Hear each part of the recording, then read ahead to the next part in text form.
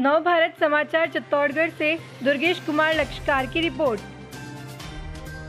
यहाँ एक वाटिका संचालक इकबाल ने 48 घंटे में सैनिटाइजर सिस्टम बनाकर पुलिस विभाग को सौंपा। पुलिस अधीक्षक दीपक भार्गव ने पुलिस लाइन के गेट पर लगाए गए सैनिटाइजर सिस्टम के अंदर जाकर पुलिस कर्मियों को ड्यूटी पर जाने के निर्देश दिए, जिससे पुलिस कर्मियों को संक्रमण से बचाया जा सके। आज पुलिस अधीक्षक दीपक भार्गव व एडिशनल एसपी सरिता सिंह ने सैनिटाइजर सिस्टम एवं जरूरतमंदों के लिए बनाए जा रहे भोजन का निरीक्षण किया। पुलिस विभाग ज़िले में कोरोना संक्रमण से लोगों को बचाने के लिए दिन रात कड़ी मुस्तैदी से अपनी सेवाएँ दे रहा है।